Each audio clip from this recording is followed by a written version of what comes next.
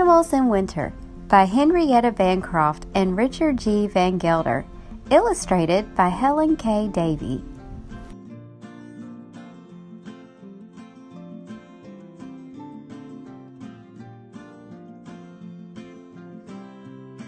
The days grow short, the nights grow long. It is getting colder. Winter is coming. Leaves have fallen from the trees. There are no berries on the bushes. Insects are gone. The grass is dead and brown. Birds and other animals are getting ready for winter. Some of the birds will fly south. Bluebirds and orioles go toward the south. They go where it is warm and sunny and where there is food for them to eat. When spring comes, the birds will make the long journey back north. They migrate. Some butterflies migrate too. That is what the monarch butterflies do. They gather in a tree by the hundreds before cold weather comes. They stay in the tree all night. In the morning, they fly toward their winter homes in the south. Many bats fly south too, but some bats stay in the north all winter.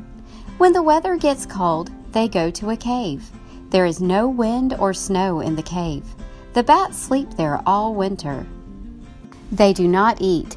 They live on fat stored inside them. They do not move. They hardly breathe. They sleep, sleep, sleep. They hibernate.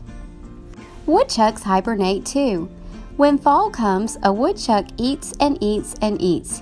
He eats grass, twigs, and leaves. He grows fat. When it gets cold, the woodchuck crawls into his long tunnel and goes to sleep.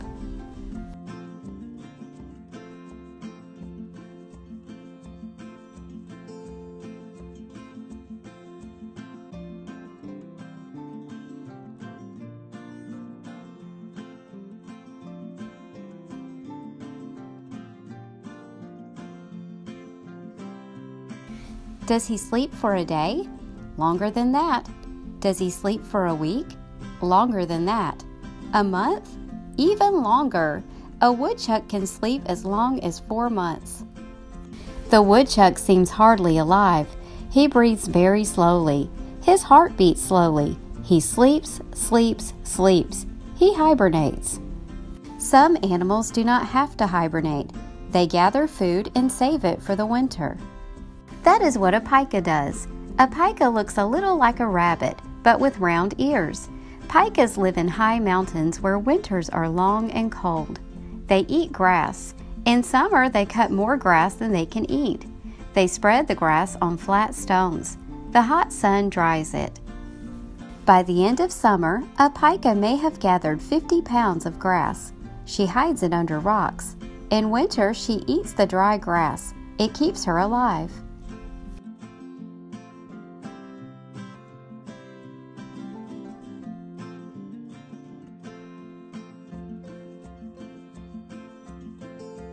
Squirrels gather food too and save it for winter. They dig holes in the ground. They bury hickory nuts and acorns. When winter comes, they dig them up and eat them. Sometimes squirrels forget where they buried the nuts. Trees may grow from the nuts that squirrels forget. Some animals do not get ready for winter at all. They do not store food. They do not hibernate. They do not migrate. They must hunt for food all winter long. There are mice that must hunt all winter for seeds of goldenrod, asters, and other wild plants. Sometimes they eat farmers' corn, oats, and wheat. Deer must dig in the snow for dried leaves, plants, and moss. When the snow is deep, they must eat the twigs, buds, and bark of trees.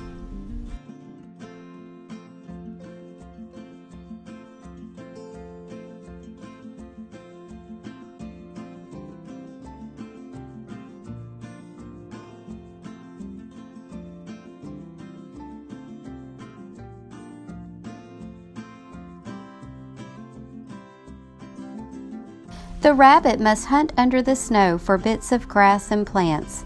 When the snow is deep, he too eats the buds and bark of bushes so he can stay alive. In the winter, the fox hunts for mice and rabbits.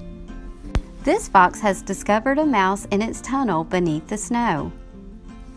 When the winter is cold and the snow is deep, Many animals cannot find food. Here are some ways you can help animals in winter. Make a peanut and popcorn garland. Hang suet in a plastic net bag. Stick fruit and cheese pieces on a dead branch.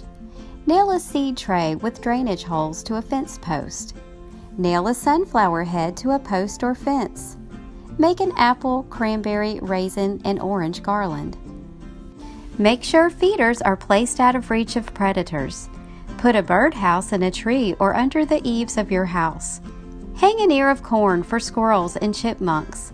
Plant shrubs with berries for food and shelter. Please remember, once you begin feeding birds and other wild animals in winter, you must continue. They are depending on the food you supply. Eventually, the days grow longer, the nights grow shorter, it begins to get warmer. Spring is coming. And that is the end of the story Animals in Winter.